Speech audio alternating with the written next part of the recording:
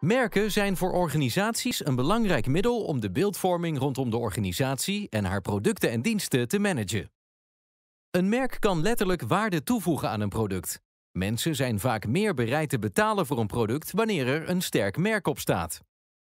Deze toegevoegde waarde heet merkwaarde. Organisaties ontwikkelen communicatiestrategieën die gericht zijn op de creatie van merkwaarde. Zo is communicatie gericht op het verbeteren van naamsbekendheid en het imago of de reputatie van een merk. In het vak branding, image en identity behandelen we de manieren waarop organisaties dat doen en de theorieën en concepten die de impact van deze merkcommunicatie verklaren. Deze kennisclip vormt een introductie tot het vak. We staan stil bij wat een merk is en welke merkbenaderingen er in de loop der tijd zijn ontstaan. Wat is een merk? Een merk was van oudsher een teken dat producenten op een product zetten om duidelijk te maken wat de herkomst ervan was. Daarbij brandden boeren bijvoorbeeld letterlijk hun merkteken op hun vee of op wijnvaten. Hoewel een merk nog steeds de herkenbaarheid van producten moet vergroten, dragen merken tegenwoordig veel meer betekenissen met zich mee dan enkel de herkomst. Merkmanagers proberen merken te laden met associaties, gevoelens, symbolen, waarden, veronderstellingen en ervaringen. Op basis daarvan ontwikkelen consumenten een voorkeur voor merken. Branding is een multidisciplinair vakgebied. Door de tijd heen zijn er veel verschillende ideeën ontwikkeld over wat merken zijn, hoe een merk zich ontwikkelt, wat een merk sterk maakt en hoe merken een impact hebben op mensen. Daarbij hebben wetenschappers zich sterk laten inspireren door andere wetenschapsgebieden, zoals de marketing, economie, psychologie, sociologie en communicatie. In het vak zullen we acht benaderingen van branding behandelen die in de loop der tijd zijn geïntroduceerd. Deze benaderingen vergelijken we met elkaar en passen ze toe op de praktijk van branding. Vanaf de jaren 80 houdt de wetenschap zich bezig met de ontwikkeling van merken. Aanvankelijk focusten deze denkers zich vooral op de organisatie zelf.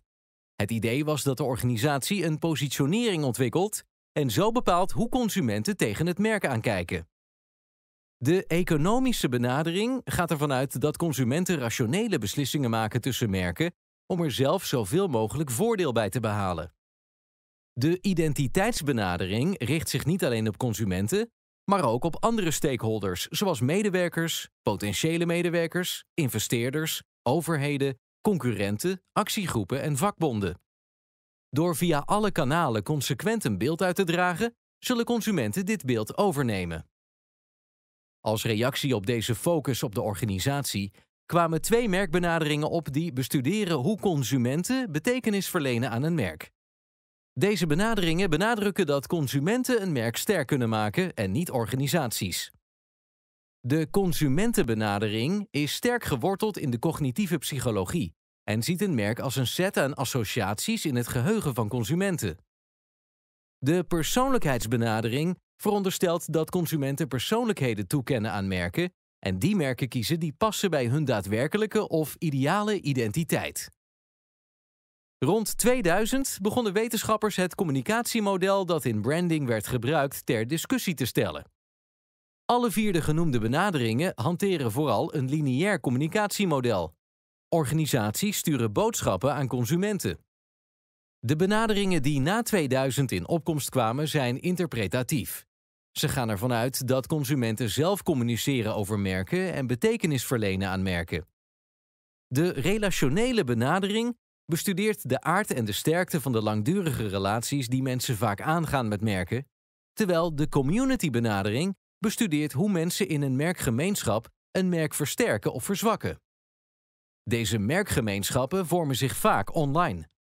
Tot slot ziet de culturele benadering een merk als een cultureel icoon en analyseert het de maatschappelijke normen en verwachtingen ten aanzien van merken. De meest recente merkbenadering, de sensorische benadering, analyseert de zintuigelijke ervaringen die een merk kunnen versterken. Tijdens verschillende contactmomenten beleeft een consument verschillende aspecten van een merk. Daarbij gaat het bijvoorbeeld om het bezoeken van een winkel of website, het gebruik van een product of het bezoeken van een brand-event. Deze ervaringen vormen de basis van een sterk merk. Hoewel deze acht benaderingen nog veelvuldig worden toegepast, is er historisch gezien een verschuiving gaande van positivistische benaderingen, die ervan uitgaan dat merkmanagers een sterk merk maken en via media aan consumenten sturen, naar interpretatieve benaderingen, die stellen dat consumenten zelf betekenis geven aan een merk middels dialogische communicatie. Toch zie je in de wetenschap en praktijk van branding alle benaderingen terugkomen. In dit vak gaan we alle acht benaderingen behandelen en moedigen we je aan om de ideeën te gebruiken om je eigen visie op branding te ontwikkelen.